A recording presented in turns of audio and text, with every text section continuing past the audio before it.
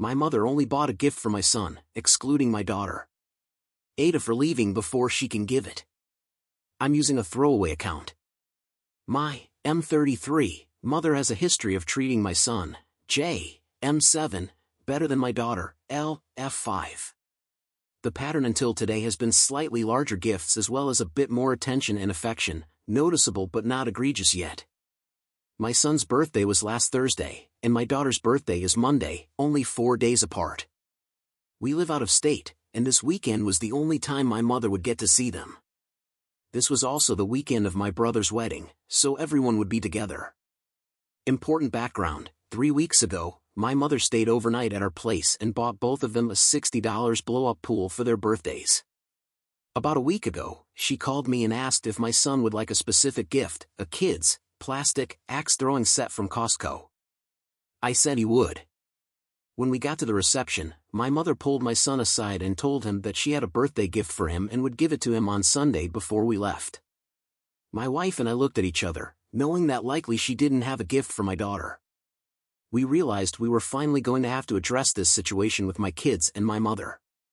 But I let it go for the moment because my kids and I were in the wedding and were busy between the rehearsal and the reception.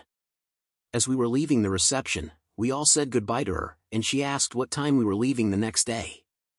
I said 9 a.m., as we had to pick up our dog from boarding and my daughter's birthday was the following day, so we had a lot to do that afternoon. She then asked me if it would be okay to give Jay his birthday present before we left. I asked, Did you get Ellie present? She responded, Well, no, her birthday isn't until Monday. I responded, Well, no, then. That wouldn't be fair to give one child a birthday gift and not the other. At this point, she blamed me, saying, Well, you didn't give me any ideas for her. Then she suggested, Oh, well, I can go and see what they have here at the hotel, a casino hotel in St. Louis, so not exactly anything a five-year-old would want. Again, I told her no, that wouldn't be appropriate. I was irate at this point but calmly addressed her. My mom asked if I knew the area and said she could run to Target and find something for her between 8 to 9 a.m. Again, I said no, and we needed to leave. Finally, she said, well, I could pick something out for her on my phone and have it shipped to her house.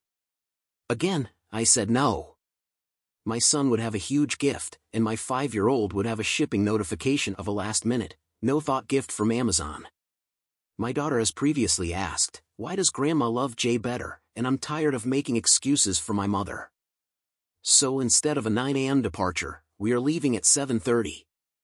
Once we are on the road, I will text her to return her gift for my son and let her know that we need some space. I'm tired of making excuses to my daughter. As we packed up and prepared to leave earlier than planned, I felt a mix of emotions.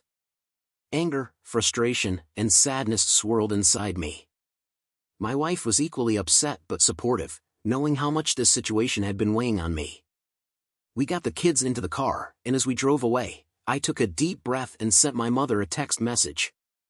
I tried to keep it as calm and respectful as possible, but I needed to be clear. Mom, we've decided to leave earlier than planned. It's not fair to Elle that you brought a birthday gift for Jay and not for her, especially when their birthdays are so close. I'm asking you to return Jay's gift. We need some space to process this. I can't keep making excuses to Elle about why she feels less loved.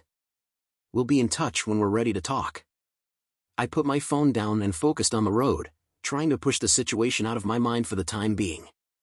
The kids were quiet in the back seat, probably sensing the tension.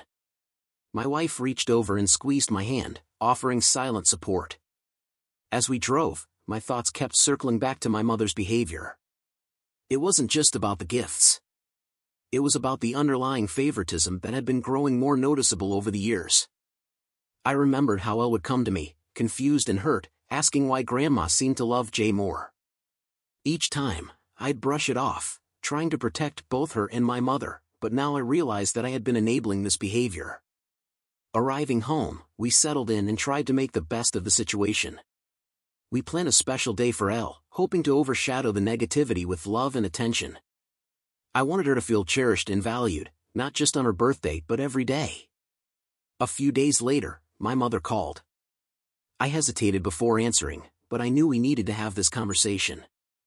I got your message, she said, her voice a mix of defensive and hurt. I never meant to make Elle feel unloved. I just thought, well, I don't know what I thought. Mom, I said, trying to keep my voice steady, it's not just about the gifts. It's about the pattern of favoritism. Elle has noticed it.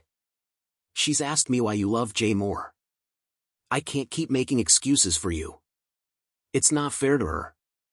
There was a long pause on the other end of the line. I didn't realize it was that bad, she finally said. I never wanted to hurt her. I'll try to do better. I hope you will, I replied. But for now, we need some time. We need to focus on our family and make sure both of our kids feel equally loved.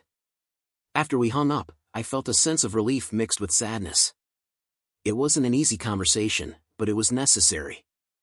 My priority was my children, and I would do whatever it took to protect them from feeling unloved or less important.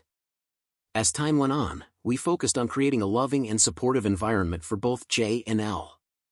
We celebrated Elle's birthday with extra enthusiasm, making sure she felt special and adored. It was a small step towards healing, but it was an important one.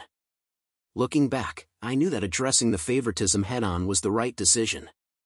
It wasn't easy, and it didn't magically fix everything, but it was a crucial step in ensuring that both of my children felt equally loved and valued. And that was what mattered most. Thank you for watching. Please like and subscribe for more content.